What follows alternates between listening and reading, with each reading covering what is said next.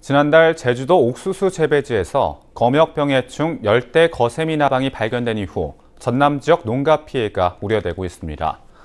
검역병해충 열대 거세미 나방은 유충 시기에 농작물의 잎과 줄기를 갉아먹어 농작물 생산량에 막대한 피해를 입히는 해충입니다.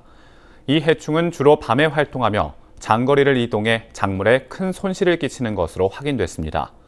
행정당국은 열대 거세미 나방 피해를 막기 위해 옥수수와 수수 재배 농가의 경우 의심 개체를 발견하면 각 지자체 농업기술센터로 즉각 신고해달라고 당부했습니다.